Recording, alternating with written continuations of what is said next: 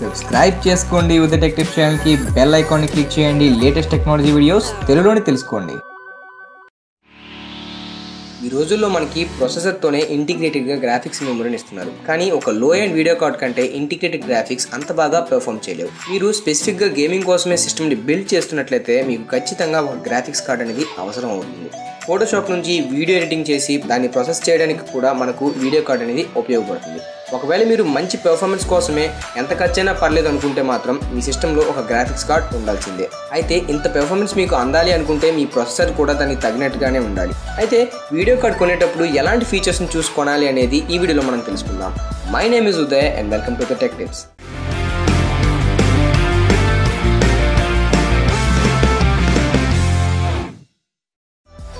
so first of all మీరు graphics card కొనేటప్పుడు దాని యొక్క ప్రాసెసింగ్ కోర్స్ని చూసుకోండి. సో సిపియూలోనే మనకి జీపీయూలో కూడా మల్టిపుల్ ప్రాసెసింగ్ కోర్స్ ఉంటాయి. అయితే ఇవి ఓన్లీ గ్రాఫిక్స్ కోసం మాత్రమే పనిచేస్తాయి. మన సిపియూ లాంటి టాస్క్స్ ఇవి కంప్లీట్ చేయవు. ఓన్లీ వీడియో లాంటి వాటిని రెండరింగ్ చేయడం వాటి కోసం మాత్రమే ఈ కోర్స్ అనేవి ఉపయోగపడతాయి. మీ వీడియో కార్డులో ఎన్ని ఎక్కువ కోర్స్ ఉంటే అంత మంచి పెర్ఫార్మెన్స్ మీరు ఎక్స్పెక్ట్ చేయొచ్చు. అయితే కోర్స్ ఎంతైతే పెరుగుతాయో దాని యొక్క కాస్ట్ కూడా అలానే పెరుగుతుంది ఏఎండి వీటిని స్ట్రీమ్ ప్రాసెసర్స్ అని పిలుస్తుంది. ఎన్విడియా వీటిని క్యూడా కోర్స్ అని పిలుస్తుంది. ఏదేమైనా సరే ఈ రెండింటిని మనం డైరెక్ట్గా కంపేర్ చేయలేం. కానీ ఈ కోర్స్ ఎన్ని ఉన్నాయనే దాన్ని బట్టి మనం వాటి యొక్క పెర్ఫార్మెన్స్ని ముందుగానే ఎక్స్పెక్ట్ చేయొచ్చు. అండ్ రెండవది వాటి యొక్క వీర్యామ్ అదే మెమొరీ మన గ్రాఫిక్స్ కార్డ్లో ఎంత వీడియో మెమరీ ఉండాలనుకునేది మనం ముందుగానే చూస్ చేసుకోవాలి. వీర్యామ్ కూడా ఆర్డినరీ ర్యామ్లోనే పనిచేస్తుంది. డేటా అనేది ప్రాసెస్ అయ్యేంత వరకు డేటా అంతా కూడా ఈ మెమొరీలోనే స్టోర్ అవుతుంది. మీరు ఒక లో రిజల్యూషన్లో గేమ్ మాత్రమే ఆడుకుంటాం అనుకున్నట్లయితే మీకు అంత ఎక్కువగా వీర్యామ్ అనేది అవసరం ఉండదు. ఎందుకంటే లో రెజల్యూషన్లో అన్ని ఎక్కువ పిక్సెల్స్ ఉండవు విజువల్ ఎఫెక్ట్స్ లాంటివి ఏవి ఉండవు కాబట్టి మీకు ఒక టూ జీబీ కానీ వన్ జీబీ వీర్యామ్ అనేది సరిపోతుంది. మీరు హై అండ్ గేమ్స్ ఆడదాం అనుకున్నట్లయితే కనుక మీకు ఫోర్ జీబీ కంటే ఎక్కువ వీర్యామ్ అనేది అవసరం అవుతుంది ఫర్ ఎగ్జాంపుల్ మీరు Rise of Tomb Raider GTA five ఇలాంటి గేమ్స్ అనేవి పెద్ద పెద్ద వాడదాం అనుకుంటే మీకు ఫోర్ జీబీ అనేది సరిపోతుంది. అయితే మనకి హై అండ్ వీడియో కార్డ్స్లో మనకు ఫోర్ జీబీ అంతకంటే ఎక్కువ కూడా కనిపిస్తూ ఉంటాయి. కానీ మీ ప్రిఫరెన్స్ అనేది గేమ్స్ వీడియో ఎడిటింగ్ కోసం అనుకుంటే ఫోర్ జీబీ సరిపోతుంది. వీర్యంతో పాటుగా దాని యొక్క మెమొరీ క్లాక్ స్పీడ్ని కూడా కన్సిడర్ చేయండి. ఎంత ఎక్కువ క్లాక్ స్పీడ్ ఉంటే అంత మంచి పెర్ఫార్మెన్స్ అండ్ నెక్స్ట్ గ్రాఫిక్స్ కార్డ్లో ఉండేటువంటి పోర్ట్స్ని కూడా చూసుకోవాలి. మనం మన యొక్క గ్రాఫిక్స్ కార్డ్ కొన్న తర్వాత దాన్ని ఏ మానిటర్కి కనెక్ట్ చేయలేకపోతే ఎందుకు వీడియో కార్డ్ కొనడం? సో మీకు ఎలాంటి కేబుల్ అవుట్పుట్ కావాలో ముందే చూసుకోవాలి. సో వీడియో కార్డ్లో మనకి ఎక్కువగా ఇచ్చేటువంటివి ఏంటంటే డివిఐ హెచ్డిఎంఐ డిస్ప్లే పోర్ట్ నార్మల్గా మనం చూసేటువంటి ట్రెడిషనల్ వీజీఏ కేబుల్ అనేవి అందులో ఇవ్వరు సో ఇలా ఏదైతే అడ్వాన్స్డ్గా ఉంటుందో దాన్ని మాత్రమే మన గ్రాఫిక్స్ కార్డులు ఇస్తారు కాబట్టి వీజీఏ పోర్ట్స్ లాంటివి ఇవ్వరు అనమాట మ్యాక్సిమం సో మీ మానిటర్ అనేది ట్రెడిషనల్గా వీజీఏ మాత్రమే సపోర్ట్ చేస్తుంది డివిఏ లాంటివి ఏవి సపోర్ట్ చేయదు అనుకుంటే మీరు అడాప్టర్ లాంటి వాటిని కొనుక్కోవచ్చు. So DVI to VGA cable లేదంటే కనుక డివిఐ టు వీజీఏ అడాప్టర్ లాంటివి మీరు కొనుక్కొని మీ వీజీఏ కేబుల్కి మీ గ్రాఫిక్స్ కార్డ్ని కనెక్ట్ చేసుకోవచ్చు.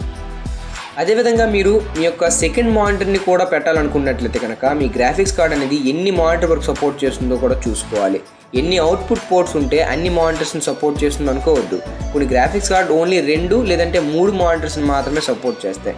ఇంకొన్ని ఒక్క మానిటర్ని మాత్రమే సపోర్ట్ చేయొచ్చు. అందుకని ఇలాంటి విషయాల్ని ముందుగానే వాటి యొక్క డిస్క్రిప్షన్లో చెక్ చేసి తెలుసుకోండి. అండ్ నెక్స్ట్ వన్ మనకి క్లాక్ రేట్స్ ఈ సిపియూలానే గ్రాఫిక్స్ కార్డ్స్ కూడా ఒక క్లాక్ రేట్ ఉంటుంది. కొన్ని కొన్ని కార్డ్స్లో ఎక్కువ కోర్స్ ఉంటాయి కానీ క్లాక్ స్పీడ్ చాలా స్లోగా ఉంటుంది. ఇంకొన్నింటిలో చాలా తక్కువ కోర్స్ ఉంటాయి కానీ క్లాక్ స్పీడ్ చాలా ఫాస్ట్గా ఉంటుంది. సో ఇలాంటి సిచ్యువేషన్లో మీ బడ్జెట్ని దృష్టిలో ఉంచుకొని ఏది కావాలనేది మీరు సెలెక్ట్ చేసుకోవచ్చు. అలాగే మనకి గ్రాఫిక్స్ కార్డ్ ఎక్కువ మందికి వచ్చే డౌట్ ఏంటంటే మా యొక్క మదర్ బోర్డ్ అనేది ఓన్లీ డీడీఆర్ టూ ర్యామ్ని మాత్రమే సపోర్ట్ చేస్తుంది. మరి మా దాంట్లో గ్రాఫిక్స్ కార్డ్ పనిచేస్తుందా లేదా అని చెప్పి డౌట్ అడుగుతూ ఉంటారు. సో మనం డిస్క్రిప్షన్లో చూసినట్టయితే కనుక గ్రాఫిక్స్ కార్డ్ యొక్క డిస్క్రిప్షన్లో మనకు కనిపించేది ఏంటంటే జీడీడీఆర్ ఫైవ్ అని కనిపిస్తూ ఉంటుంది. సో చాలామంది దీని గురించి కన్ఫ్యూజ్ అవుతూ ఉంటారు. సో మదర్ బోర్డ్స్లో మనకి జీడీడీఆర్ ఫైవ్ అనేది సపోర్ట్ అవుతుంది.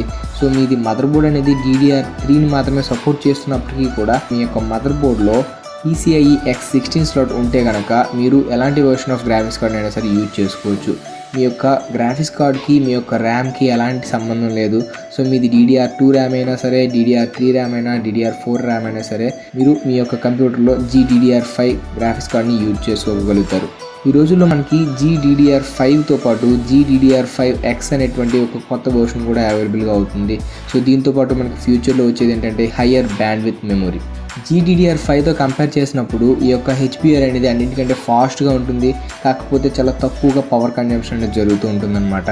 సో వీటికి మధ్యలో ఉన్నదే జీడీడీఆర్ ఫైవ్ ఎక్స్ సో ఇది ఏంటంటే జీడీడీఆర్ ఫైవ్ కంటే చాలా ఎక్కువ మెమొరీ బ్యాండ్విత్ ఉంటుంది. అలాగే తక్కువ పవర్ కన్జంప్షన్ జరుగుతూ ఉంటుంది. అలాగే హెచ్బిఆర్తో కంపేర్ చేసినప్పుడు జీడీడీఆర్ ఫైవ్ ఎక్స్ అనేది కొంచెం తక్కువగా ఉంటుందన్నమాట. సో ఇప్పటికైతే ప్రెజెంట్ అయితే ఎక్కువగా మనం యూజ్ చేసేది GDDR five graphics cards so మీ యొక్క కంప్యూటర్ మదర్ బోర్డ్లో ఈసీఐ ఎక్స్ సిక్స్టీన్ స్లాట్ ఉందా లేదో చూసుకోండి. సో ఈ స్లాట్ ఉంటేనే మీ యొక్క కంప్యూటర్లో మీరు గ్రాఫిక్స్ కార్డ్ని యూజ్ చేసుకోగలుగుతారు. సో నెక్స్ట్ వాటి యొక్క పవర్ రిక్వైర్మెంట్స్ గురించి చూసుకోవాలి. సో అన్ని పీసీ కాంపోనెంట్స్ కంటే వీడియో కార్డ్నే ఎక్కువగా పవర్ని తీసుకుంటాయి. సో లో ఎండ్ గ్రాఫిక్స్ కార్డ్స్ అన్నీ కూడా పీసీఐ స్లాట్స్ నుంచి డైరెక్ట్గా పవర్ సప్లైని తీసుకుంటూ ఉంటాయి. కానీ ఇంకొన్ని హై ఎండ్ గ్రాఫిక్స్ కార్డ్స్కి మాత్రం సెపరేట్గా పవర్ కనెక్షన్స్ అనేవి ఇవ్వాల్సి ఉంటుంది. సో దానికి సిక్స్ పిన్ లేదంటే ఎయిట్ పిన్ లాంటిది కావాలని ముందుగానే చూసుకోవాలి. సో కార్డ్ వర్క్ అవ్వాలి అంటే మీరు ఈ పవర్ కనెక్టర్ని యూజ్ చేయాల్సి ఉంటుంది. దీంతో పాటుగా వీడియో కార్డుకి ఎన్ని యాంప్స్ పవర్ని యూజ్ చేసుకుంటుందో కూడా ముందుగానే చూసుకున్నట్లయితే ఈ పవర్ సప్లై అంత వాల్టేజ్ని ఇవ్వగలదో లేదో కూడా చెక్ చేసుకోవాల్సి ఉంటుంది. పవర్ సప్లైని ఎలా సెలెక్ట్ చేసుకోవాలో కూడా నేను వీడియో చేస్తాను. అది అప్లోడ్ చేసిన తర్వాత మీకు నోటిఫికేషన్ రావాలి అంటే మీరు మన ఛానల్కి సబ్స్క్రైబ్ చేసుకొని ఆ పక్కనే ఉన్నటువంటి బెల్ ఐకాన్ని యాక్టివేట్ చేసుకోండి. అండ్ ఈ వీడియో మీకు హెల్ప్ఫుల్గా ఉంది అనుకుంటే కింద లైక్ చేయండి మీ ఫ్రెండ్స్కి షేర్ చేయండి. That's it for this video guys thank you for watching meet you on next video